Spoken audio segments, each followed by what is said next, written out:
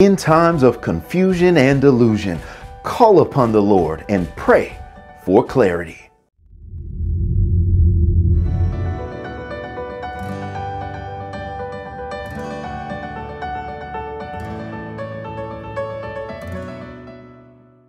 It's as clear as mud. A saying that means that something just doesn't make sense. It means that something is unclear, opaque, cloudy, convoluted, murky, muddy, hard to comprehend, and just difficult to understand. It means that something is not very transparent at all. And no matter how hard you try to figure it out, you just don't get it. But we all have areas like that in life because we all don't understand all there is to understand about life. In fact, some things are so multifaceted, multi layered, and complex that even the best and brightest among us don't have an explanation for it. And some things are so profoundly deep that you won't even know all you don't know about it. Even King David admitted in Psalm 131 and 1 Lord, my heart is not proud, my eyes are not haughty. I don't concern myself with matters too great or too awesome for me to grasp. Allow me to translate. I don't get everything, and it's okay. So there will be times in life when you won't be able to grasp what's going on with you or around you. Times when you won't understand why this happened or that happened. Times when you won't know where you are now or where you're headed. Times when you don't know where to go, what to do, or what to say. Times when you just feel lost. There will inevitably be times in life when you won't be able to see your way through times when things will seem to be as clear as mud. But you know what? It's okay and it's going to be okay because we serve a God who still sees clearly in cloudy times, the God who gets what we don't, the God who gets everything. Isaiah 40, 28 says, Do you not know? Have you not heard? The Lord is the everlasting God, the creator of the ends of the earth. He will not grow tired or weary, and his understanding no one can fathom. Our God is never confounded or dumbfounded about anything. So, although things may be unclear at times, you don't have to live your whole life all perplexed and puzzled and baffled, bewildered, and confused all the time because confusion is not of God. 1 Corinthians 14:33 says, "For God is not the author of confusion, but of peace." So if you feel confused in life, just know that it did not come from God. God is not the source of it, nor is he the reason for it. No, our God is a God of clarity.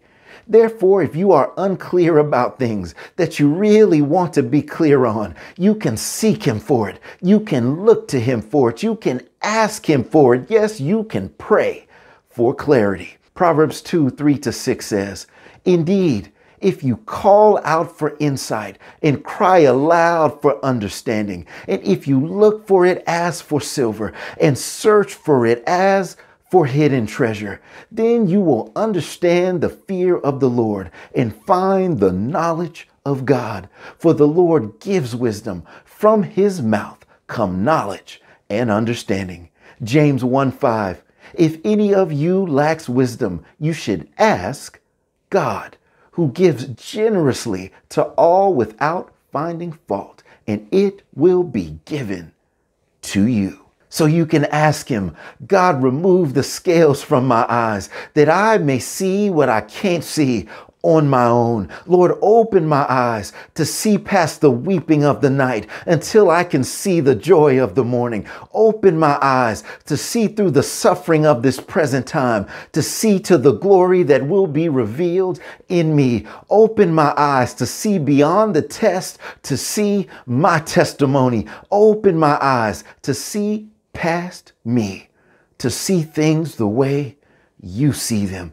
Oh God, make it clear to me. Oh God, make it plain to me. Lord, I pray for clarity as we see in our text. In the Old Testament book that bears his name, the prophet Jeremiah had been prophesying during a very murky and cloudy time in the history of Judah. He had been foretelling of the coming fall of Jerusalem at the hand of the Babylonians because God had been speaking to him and giving him clarity on what was to come. But no one else could really see what God was opening Jeremiah's eyes to see. So therefore, no one else was really saying what Jeremiah was saying. There was even an opposing false prophet named Hananiah who was muddying up the waters and adding confusion to the mix by saying that God was going to destroy the Babylonians and Judah would be just fine. Huh. They didn't want to receive the Lord's true clarity from Jeremiah. So they found themselves somebody who would just say what they wanted to hear.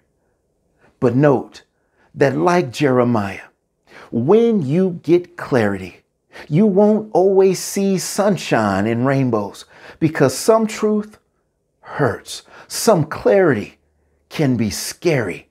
But when God gives you that kind of clarity, don't be so afraid of what he shows you that you put back on the rose colored glasses of delusion just because you didn't like what you saw. But for Jeremiah, even the king of Judah, Zedekiah, questioned him in Jeremiah 32. Why do you prophesy as you do? You say, This is what the Lord says. I am about to give this city into the hands of the king of Babylon, and he will capture it. If you fight against the Babylonians, you will not succeed. Now, if I was Jeremiah, I would have been like, I'm saying it because God said it. And I'm saying it because it's clear and it's true. But again, God gave Jeremiah a level of clarity that no one else at the time seemed to have. So King Zedekiah didn't like what Jeremiah was saying so much so that he confined and imprisoned him in the courtyard of the guard in the royal palace of Judah just for proclaiming the clear message, the clear truth of the Lord from the Lord. Now, if that sounds familiar to you, the same thing happened to our Lord Jesus. He is the way, the truth, and the life. But he was persecuted and crucified just for saying and just for being the true clarity of God, injected into a world of lies, manipulation, and confusion. Jesus told Pontius Pilate in John 18 37, Everyone on the side of truth listens to me. In other words, everyone on the side of clarity hears the voice of Christ because Jesus is clarity itself, himself. But notice, in both Jesus's and Jeremiah's case, don't be surprised if your clarity upsets the confused. When you have a vision, you will always be at odds with the blind. Once clarity sets you free, it will always stir up some stuff with those who are still in bondage.